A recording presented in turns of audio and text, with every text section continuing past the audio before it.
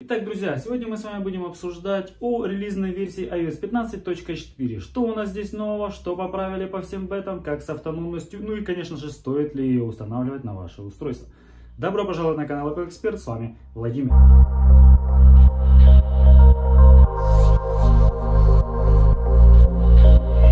Ситуация такова, что я вам не советую, в принципе, ставить э, пока что эту версию по объективным причинам. По каким? Сейчас я перечислю, что у нас было нового, мы посмотрим, как, посмотрим, как работает наш, в принципе, устройство у меня, в данном случае iPhone 12 на данной прошивке. Ну в принципе, посмотрим, где что фрезит, не фрезит и так далее, и так далее, решим. И по автономности, конечно же, в конце все скажу. Начнем с iOS 15.4 Beta 1. Это разблокировку маски добавили, пофиксили более удобно и более теперь комфортно использовать как через часы, так и через само устройство. Разблокировка в маске с э, сторонними приложениями, оплатой, в том числе Apple Pay. Это тонкая возможность настройки геймпада. 37 новых эмодзи, новые виджеты, анализ смартфона по фотографии, э, поднесите наушники AirPods, звук вызова более качественнее, э, шрифт, анимация подключения наушников чуть толще стал. Все приложения получают 120 Гц. Владельцы, конечно же, iPhone 13 нового поколения и выше. В приложении э,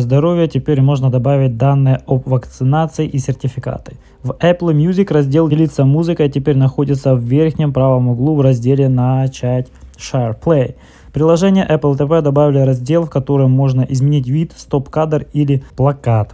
В настройках Safari добавили пункт восстановления настроек по умолчанию. iOS 14 Beta 2 у нас Shazam определяет музыку быстрее и точнее через поисковую кнопку в Control Center. Что касается в бета 3, исправили баг хранилища, баг обновления iOS и LTE, новый вид уведомлений для заметок.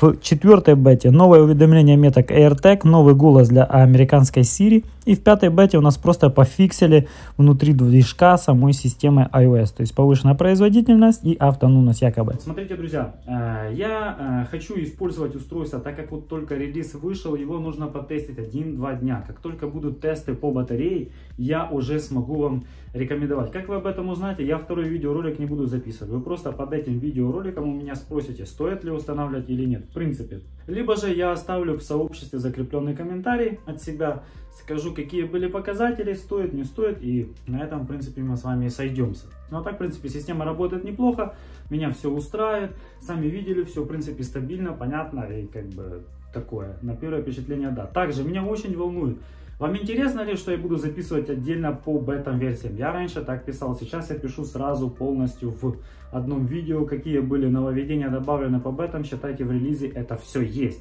Пофиксено, исправлено и более-менее автоматизировано для того, чтобы работал э, сам движок системы iOS нормально. Вот, дайте знать, интересно по бетам, будем записывать отдельно, хотя я бы не хотел, если честно. Или проще все в один видеоролик забить и будет намного интереснее, более развернутый ответ и, как по мне, намного лучше. А вы, конечно же, дайте знать, мне тоже ваше мнение интересно. Подписка на канал, прожмите колокольчик, оставьте ваше мнение в комментариях, дальше больше, скоро увидимся.